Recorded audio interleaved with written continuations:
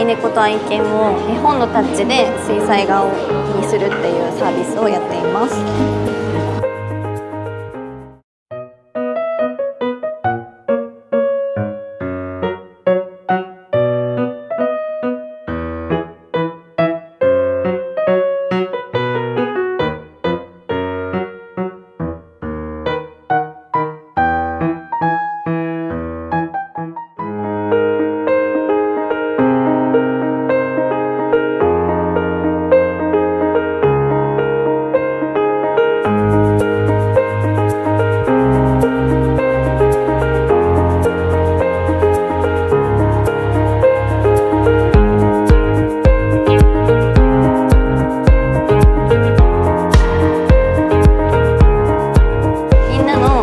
愛猫と愛犬を絵本のタッチで水彩画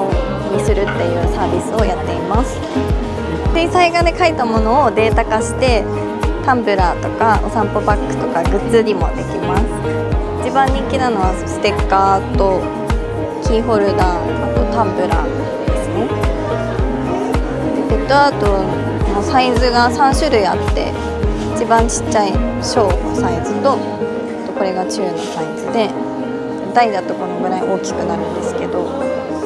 あとは顔だけか全身かっていうのが選べて普段ネットで販売してるのでここに写真とお名前とかチャームポイントとかを送っていただいてそれを再現するっていう感じです。写真をそのまま絵にすることもできるし顔はこれで体はこの真から描いてほしいとかあと3匹いるけどそれぞれ別の写真から同じ絵にしてほしいとかそういう絵ならではのことも